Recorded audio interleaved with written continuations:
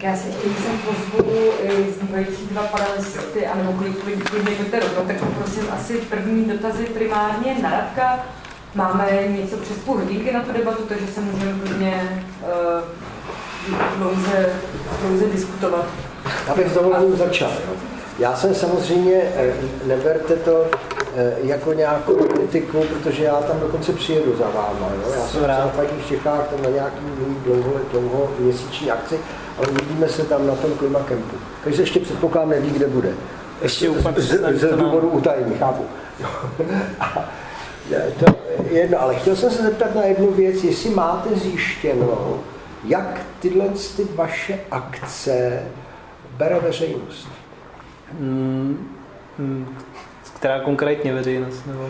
No veřejnost, jak prostě se veřejnost dívá na to, když si třeba, protože já vím, že česká veřejnost je dost konzervativní. Mm-hmm to víme, že jo, z různých kontextů a věcí a chtěl jsem zeptat na to, jestli máte zjištění, jak prostě česká veřejnost obecně, ne, nedovedu nějak blíže, blíže specifikovat, bere vlastně tu, tu okupaci toho paklu. Tak eh, to je složitá otázka, protože samozřejmě tady ta taktika přímých akcí v České republice není tak například zažitá jako v Německu, takže jako, že určitě narážíme na nějakou jako bariéru, ale pro nás vlastně ty, eh, ty jako nechci říct výhody, ale ty nějaké jakoby pozitivnější aspekty té přímé akce, to znamená to jako jednak ten jako velký zásah v podstatě do, do, do toho nějakého mediálního prostoru nebo do toho vůbec jako veřejného prostoru a zároveň ta mobilizace lidí, kdy my se to jako, to není tak, že my jsme třeba udělali jenom akci a tak, ale, ale snažíme se v podstatě průběžně mezi těmi kempy, pořádáme přednášky to a snažíme se jako mobilizovat to hnutí vůbec a vůbec třeba i ovlivňovat i způsob třeba, kterým o těch problémech mluví e, velké třeba environmentální organizace v Česku, jako Hnutí a Greenpeace, tak e, v podstatě já si myslím, že to hledisko jako veřejnosti je důležité určitě, ale není v podstatě pro nás tomhle zásadní, protože pro nás je v pohodě, když jako ty hlavní, ty hlavní ty, ty hlavní ústupky nebo ty, ty hlavní jako věci vyjedná například Duha nebo Greenpeace, ale my v podstatě do toho vnášíme nějakou jako nějaký typ činnosti, typ taktik, který ty organizace posouvá v podstatě dopředu a posouvá, posouvá je do středu a posouvá je nějakým způsobem vlastně blíž eh, k té veřejnosti, tím, že v podstatě, to, jestli, jestli to mít například jako to, že u nás se často jako o jako teroristech nebo o těch jako, jako radikálních mluví například o Mirkovi Patrikovi, který nedělá nic jiného, než že, že chce v podstatě, aby, ty, aby stát dodržoval své vlastní zákony, při stavbě dálnic zejména, ale i při stavbě spaloven a podobně, tak je vlastně tím, že je zároveň tím, že tady nějaké to jako kritické radikálnější hnutí není, a já si myslím, že to může být jako pozitivní i pro ty, pro ty, pro ty organizace typu té, té druhé vlny. Takže jakoby, jo, snažíme se nějakým způsobem mobilizovat, snažíme se nějakým způsobem to, to zohledňovat, zejména například ve vztahu s místními, ale jako není to pro nás to stěžení hledisko, kterým se na to jako díváme. Díky.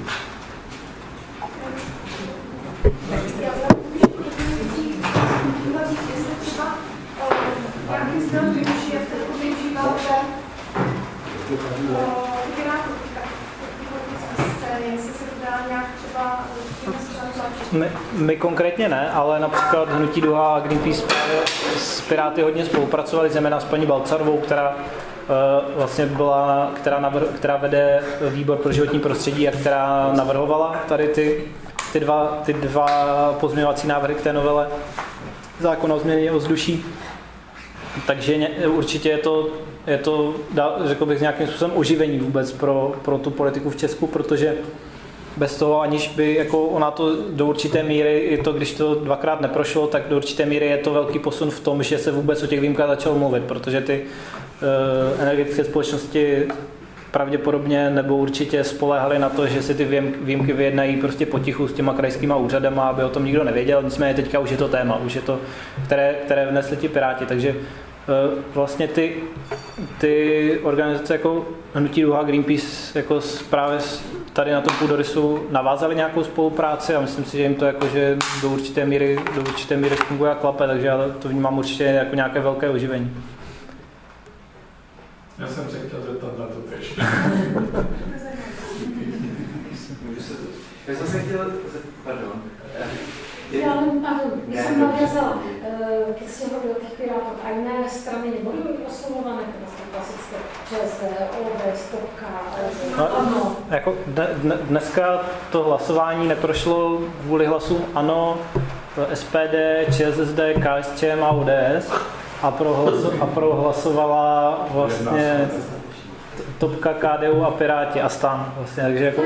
No, ano, to beriem, ale oslovili jste z té strany, boli jste za nimi, hmm. uh, jo, ono, to je otázka vždycky jako, diskusie, že mnoho věcí prostě, keď vás pozvu do klubu, tam jim to vysvětlíte a oni vám to odkývají, povedia, já, ano, já, já, já, já tomu rozumím. Jako, když se řeknu za nás jako nutí, tak ta naše práce v podstatě jiná. Tady ty věci dělají, dělá právě ta, ta Doha a Greenpeace a dělají dobře, dělají mnohem líp než my. A, a, a jako určitě my se snaží, co vím, tak jako u ODS tam to v podstatě nějaká, jako, že se to nedá, u ČSD se dají najít nějací lidi, kteří, kteří o tom nějakým způsobem přemýšlejí progresivně, ale ten jejich vliv se spíš zmenšuje na, na vývoj té strany, než zvětšuje a zvětšuje se vývoj takových lidí, jako je například Jaroslav Foldina, který je jde právě úplně jakože na, naopak vůči tady těm tendencím. A ano, ano je, to, je to složité. Tam e, v podstatě ta strana se nějakým způsobem mění, spousta těch jako liberálnějších částí to, té strany se jako postupně dostává pryč jako Robert Pelikán a lidi a zároveň zároveň, zároveň ale na nějakých jako dílčích, v dílčích věcech se jako zachovalo do určité míry do určité míry zodpově, zodpovědněji než ty, než ty jiné strany, ale jako například, když se v loňském roce jednalo o prodej Počerat, které chtěl, chtěla, chtěla koupit severní energetická od Česu a pravděpodobně je chtěla ji chtěla samozřejmě modernizovat, protože nekupujete elektrárnu, kterou chcete za, za dva roky zavřít, takže ji chtěla zmodernizovat, aby, aby zase jako fungovala další ty des, například deset let dále, což například tykač se severní energetickou udělali ve Chvaleticích kde retrofitovali dva bloky a tam jako v podstatě eh, se to podařilo zamezit i díky například eh, eh, díky vlastně vlivu ano, nicméně zase se mluví o tom, že se to podařilo proto, protože Babiš tu elektrárnu slíbil Křetínskému, takže, takže ty nějaká jako návaznost na ten velký průmysl tam jako pořád je a je to, a je to, je to, je to vlastně složité. A jsem chtěl hlavně říct, že tu práci jako politickou nebo takhle tak odvádí a tu jako lobistickou odvádí ta hnutí Duha Greenpeace, kteří to jako dělají dobře. Já jsem se chtěl zeptat vlastně všech tří panelistů, protože to byly jako tři různé uh, vize budoucnosti od uh, obnovitelné energetiky přes uh, manifesto Labour až po klimatickou spravedlnost. Jak se díváte uh, na koncept nerůstu, který, když ho v krátkosti představím, tak je to vlastně koncept, který říká, že ekonomický růst je ten hlavní problém, který máme, protože na koneční planetě nejde neustále neekonomický růst a cílem by mělo být snižování materiální a energetické spotřeby za zvyšování um, nějakých životní pohody těch obyvatel země. Tak jak, jestli ten koncept znáte a jak, jak, se, na to, mm, jak se k tomu staví ty scénáře vaše? Jasně, můžu, můžu, můžu začít teda. Jo, jo. jo. Tak eh, já si samozřejmě myslím, že ten růst je prostě šílený. Eh, York Randers, to je jeden z autorů vlastně limit růstu, že jo? starý, stařičí norský ekolog, eh, který má přes 80, tak ten prostě doslova říká, že když jsem byl mlád, tak žil v Norsku a nikomu tam nebyla zima, nikdo tam neměl hlad a nikdo se tam nenudil. Jo? To jsou docela jednoduchý parametry, všichni známe. Že? Všichni vnímáme, že to je důležité. A spotřeba e, e, e, energie byla pětinová. Pětinová. Jo?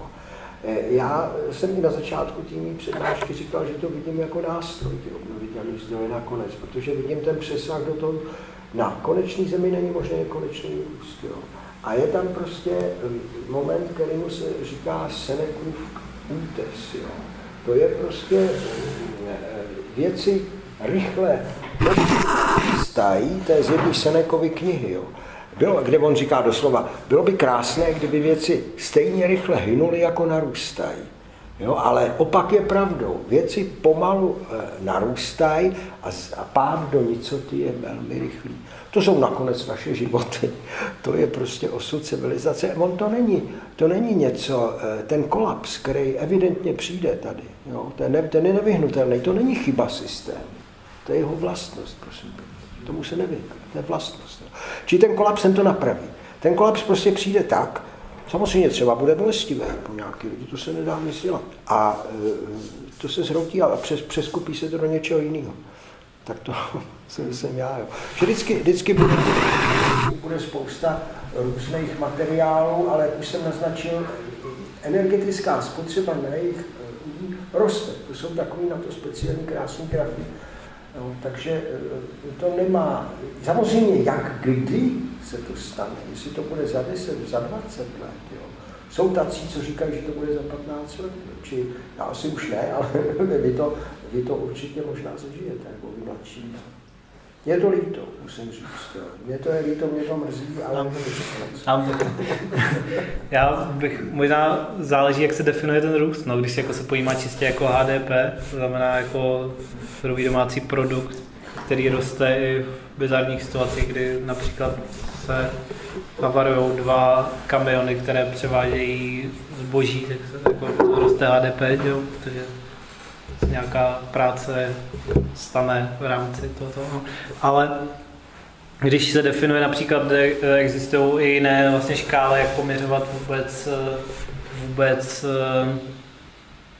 vůbec jako, nechci říct štěstí v té společnosti, ale nějaké když se jako do těch, do těch aspektů toho, jako jak je ta společnost kvalitní, zahrne víc aspektů než pouze ten ekonomický, znamená například e, čistý vzduch, e, přístup k čisté přírodě, e, nerovnost, která je v té společnosti, tak si myslím, nebo nerovnost například mezi muži a ženami a všechny jako aspekty, které jako z mého pohledu víc vedou ke štěstí, než, než to, že než k obecnému štěstí, než to, že že eh, je třeba vysoký ekonomický růst za cenu toho, že je velmi znečištěné, velmi znečištěný vzduch, velmi znečištěné vody, eh, spousta pesticidů se využívá a podobně, tak si myslím, že v takovém případě může jako nějaká mírně růstová být, ale to samozřejmě mluvíme úplně o jiném růstu, než o kterém mluví to nerůstové hnutí, takže já si myslím, že to nerůstové hnutí přináší určitě důležitou perspektivu, nějakou, eh, která, která jakoby jde po,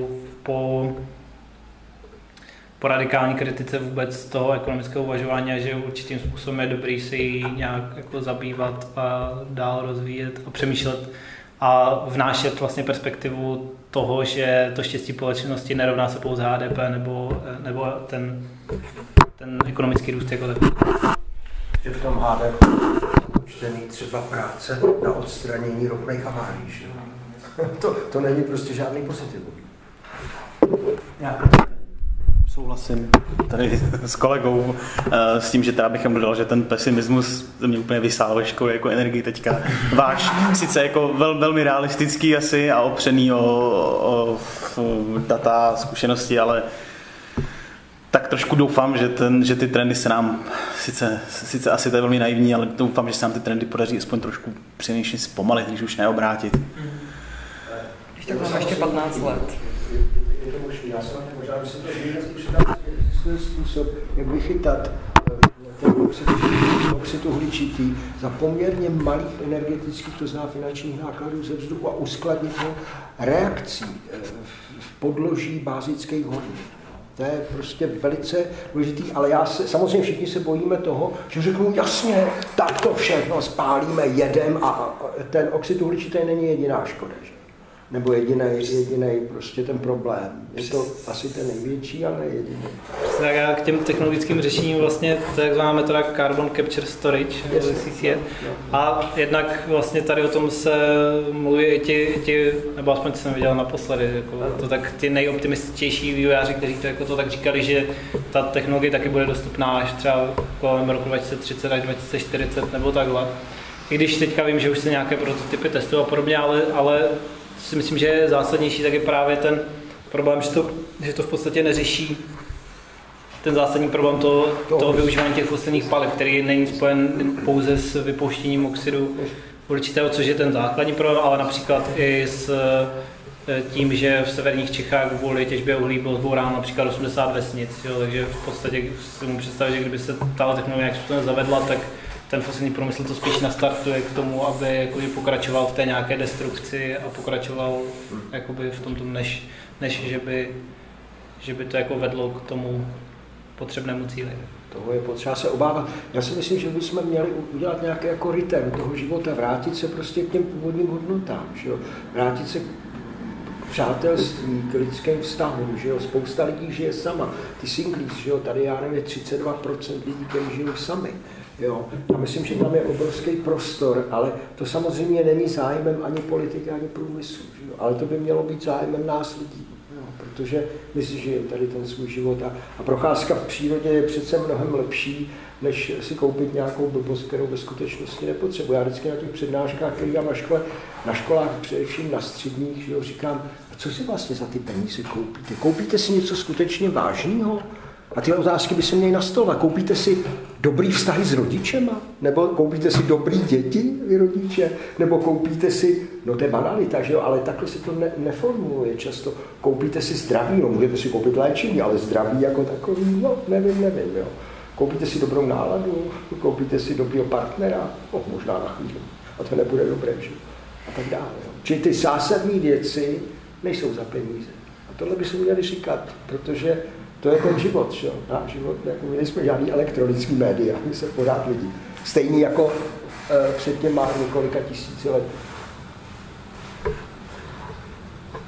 Chtěl jsem se ještě připomnět jednu věc. Okrajově se o tom mluvilo v souvislosti s jádrem a tedy vypařování vody z těch věží, těch 35 megatun za rok vody, jestli si to dobře pamatuju.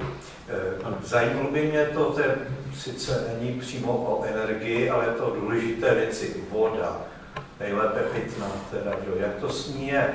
Vím, že francouzi snad vlastně některé tyhle ty věci, nebo jak je to, to vodohospodářství, snad spravují francouzi, jestli by stát se neměl zamyslet na tak důležitou komoditou, jako je pitná voda, aby ji vlastnil on tedy pro své občany, kteří platí daně, já už jsem důchodce. Jo, ale myslím, já o tom nejsem moc informovaný, vím akorát z nějakého semináře, že e, tady to bylo si organizované, si na to dobře pamatuju, že v Novém Strašecí našli v té smlouvě z Veolí nějakou chybu a vlastně jako to té chyby tu smlouvu vypověděl. Čili ta cesta asi je, všechny smlouvy mají asi nějakou výpovědní, to asi to lze vypovědět.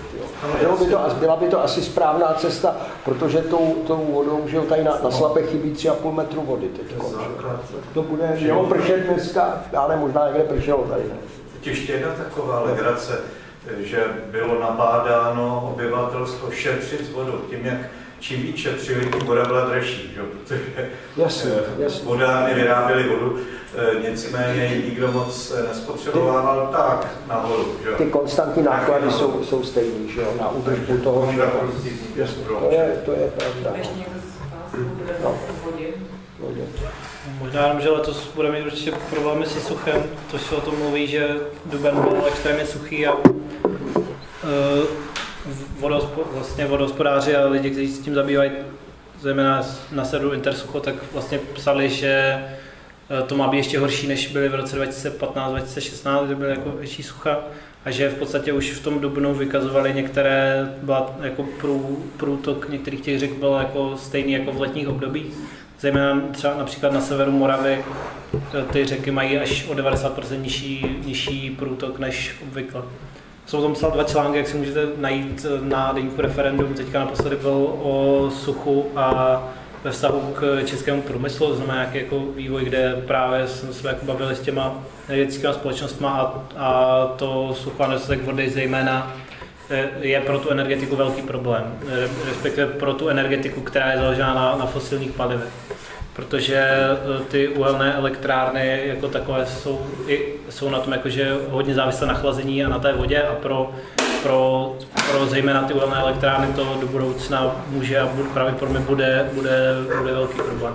Jaderné elektrárny v Česku ani tak ne, protože oni jsou v jiných klimatických podmínkách a zároveň, zároveň mají jakože nějaké, nějaké jako větší napájení a tak a, a eh, no, A ale a to, ta zpráva té vody tam je jiné, ale zároveň, zároveň ta spotřeba tam je pořád jako, že velká. V případě, že by se měli ty bloky rozšiřovat, tak by i tam se pravděpodobně byl problém s tou vodou, takže prostě to sucho, zejména v České republice, která, jako, které se říká, že je střecha Evropy, takže ta, ta voda jako hodně stéká nebo se říká, jako stéká do těch ostatních zemí, nebo je nějak jako je to, tak, tak, eh, tak se vlastně z těch klimatických hrozeb mluví, eh, mluví nejčastěji právě o suchu, které se jako bude projevuje už teďka a bude se v příštích letech pravděpodobně projevovat jako čím dál, čím dál větší, větší. Já si myslím, že globální sucho je takové jako dost různé, záleží v podstatě na tom, eh, jak, eh, jaká je konkrétní jako vláda v tom konkrétním státě.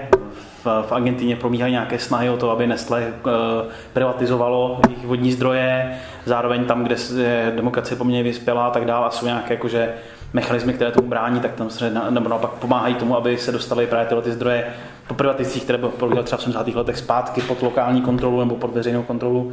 Takže to je takové jakože Různě, prostě ten boj probíhá na všech frontách z obou stran, takže je jako, jako komplikované. Tam, tam, kde to jde, tak tam se kapitál snaží dostat samozřejmě vodní zdroje pod kontrolu, protože samozřejmě ty trendy sledují, vidí, že to prostě bude, je to, bude to komunita budoucnosti, prostě je to, ty, ty lidi si dokážou dobře spočítat, kde prostě, kam, kam to směřuje a pokouší se to prostě kontrolovat. A... Jsme si uh, hodně zvykli, že voda teče, otevře se kohoutek, teče. Já jsem prožil takové jednu těžkou chvíli, když eh, se v egyptské poušti chtěl najít ve svých 67 letech nějakou vzdálenou cache v rámci geocachingu, asi víte, o co jde. Blbec jsem si nevzal vůbec žádný pití, nebylo to na čišníka, to bylo all inclusive tam. Takže nikdo nepřišel, nikdo mi žádnou vodu nedal, až jsem ale tam natáhl bačkory, jo. takže eh, ta věc si teprve člověk uvědomí v té písni, že to není sranda. Že? My teda samozřejmě v naší střední Evropě to nebude tak eh, strašný, jako v těch eh, zlejch místech s vodou. Eh, nicméně i na tohle by bylo nutné myslet. No, teďka vlastně o tom se hodně mluví například v Kapském městě, které, hmm. jo, Těch, no. se tak, které se tak, tak vyhlo takzvanému dni nula, protože jim hrozilo na konci dubna, že totálně dojde v tom městě voda. To znamená, jako, že nebude jako vůbec. A oni, se tomu podařilo zamezit díky jako docela drastickým, nebo drastickým, jako hodně silným, jako uh, silným uh, opatřením, jako, že například se přidělala voda, myslím, 50 litrů na jednoho člověka na den, což v Česku je, myslím, přes, mi říkal kamarád, přes nějakých 120 litrů nebo 130 je jako spotřeba člověka na den, takže podstatě tam jakoby snížila na, na, na to a podařilo si vlastně vyhnout se tomu roku nula, ale pravděpodobně si to, to no, dní nula pravděpodobně se vyhnou pouze na, na, na, rok třeba nebo takhle, takže jakože ten trend je to, takže pravděpodobně to perspektiva, perspektiva pro to město je, že v podstatě vyskne, vyskne obecně od těch vodních zdrojů. Já vždycky na to vzpomenu, když s autákem zacouvám ke studánce, naberu báječnou vodu, zkrátka, kterou pak pijem, vaříme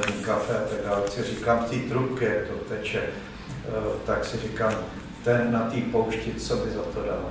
Jo? Říkám, tam mě cvaklo teda v tom Egyptě, jak je to obrovsky důležité. Ještě předtím nadechoval, že jste... Já jsem chtěl říct, že pro ty jaderné elektrárny je větší spotřeba ještě vody, než pro ty fosilní, protože no. oni mají nižší termodynamickou účinnost, protože tam nižší teplota při ty páry.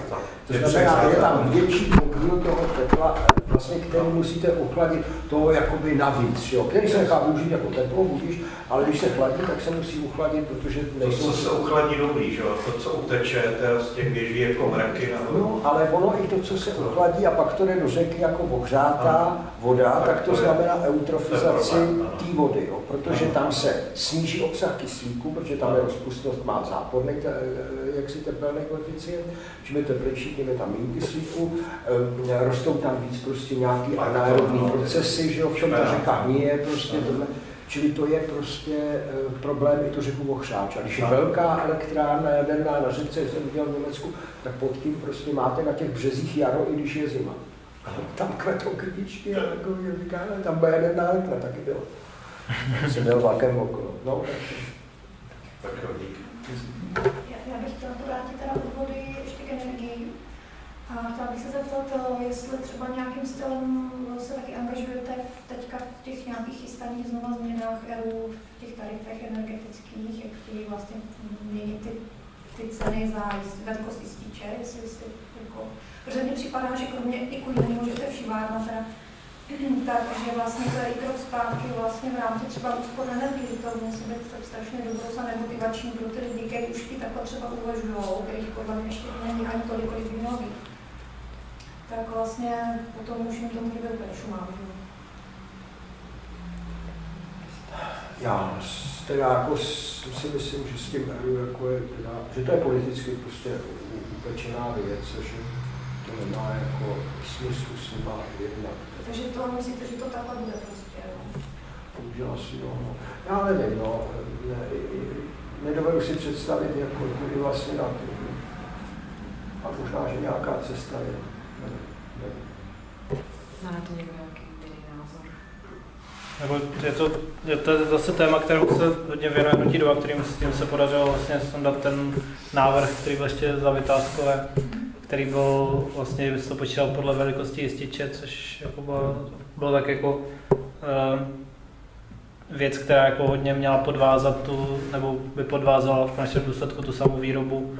Ale ten největší problém tady v České republice pro celou výrobu je, pokud dobře vím, takže oni, když jako vyrobí tu energii, takže nemůžou dodávat do sítě. Takže jako Čes blokuje tomuto, takže to jsou nějaké jako věci, které v rámci to, které vlastně brtí nějaký jako větší rozvoj, právě to, aby si lidi třeba dávali, dávali solární panely na, na to nebo investovali sami jako do nějaké té ekologizace právě. Musí investovat do vlastní spotřeby a do vlastní akumulace, tam to je. Ale já, já jsem teď na jednání na MPO, protože máme nějaký projekt v tomhle smyslu. A e, tam prostě byl se mnou kolega, který má na svém nějaký prostě haciendě, tady v má fotovoltaický panel. A on říkal, že je neprodává tu přebytečnou energii do sítě, protože za to byl pokutován nějakými těmi transmisními poplatky. Čím on něco dostal, ale víc musel zaplatit. Jo. Takže v podstatě, na to, že to bylo pár korun, ale že mu to bylo hodně, prostě to, jak to zrušil. A ten, co byl ředitel, se byli na, se jednali s ředitelem odboru elektroenergetiky. Jo. A on říká, to není možné ten, ten můj kámoš asi to ví, když to platí. Jo. Já tomu nerozumím, prostě, jak to vlastně. Ale nemůžete to dodávat, protože když máte svou vlastní fotovoltaiku, tak oni vám tam dají na ty těm hodinám omezovač, aby to nemohlo přetejkat do sítě. Proč toho se bojí? Jo. Nevím proč, protože v Německu to takhle běžně je a funguje. A oni řeknou, v Německu mají jinou síť, jo, tak já nevím, jak mají, mají jinou síť, ale když to jde v Německu, by to nemělo jít tady, že jo? to je prostě jenom nechuť politická. Tam byl přece něco, nějaký nařízení nebo nějaký spoplatnění jističů. Se... No jasně, tak to tam, to tam tady kolega říkal, že, jo, že to je nějak jako, to tam neprošlo úplně. Jasně, či to, to jako diskriminovalo ty, ty no, sporu a diskriminovalo ty malé Ona, ona, oni jakoby to začali dělat znova, vlastně tu, tu tarifní strukturu, ale v podstatě ten návrh ještě, pokud vím, tak není na stole, takže v podstatě se jako neví, jaký ten plán ERU bude, bude pro, pro ten nový. Ten špatný se podařilo jako sundat a teďka se čeká, s čím až jako přijde. No, má být téměř totožný, jo? To si vím představit. No, my se právě hrozně rádi, jak jsem zmínil v té přednášce, eh, představili prostě ten 100% obnovitelný systém pro Českou republiku, ale já jsem je třeba ze Špidlou, jestli na to, prostě, když byl ještě poradcem, že jo, tedy, tedy na, na vládě, mimořádně jako pozitivní bán, ale eh, jako on říkal, to je přece za drobný peníze za, za 250, za 2,5 milionu jako, já, já nevím, že e, Eda Sekven se podílel na té energetické koncepci, na tzv. Pačesově zprávě a on to neví a já jsem se ptal na vládě a na MPO, kolik to stálo, abych měl srovnání a nedostal jsem žádnou odpověď a teď nemám čas na to, abych je dával k soudu. Ale asi to udělám. No, ne, no, tak oni jsou povinni mě přece na tohle no, odpovědět, to je placený z mých peněz. Já chci, jestli to stálo 5 milionů nebo 50. Já bych se spíš přikláněl k 50 tak je to, je to těžší, tak. Fakt těžší. že se nám bohužel nachyluje, tak prostor třeba ještě pro jednu poslední otázku nebo nějaký příspěvek, něco, co panelisti třeba zapomněli dodat a pak by je to mrzelo.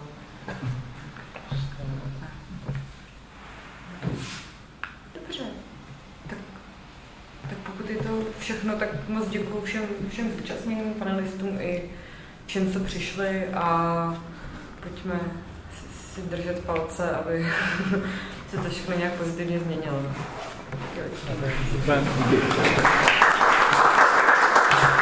Nejenom držet, tak něco pro to dělat. Víte, víte.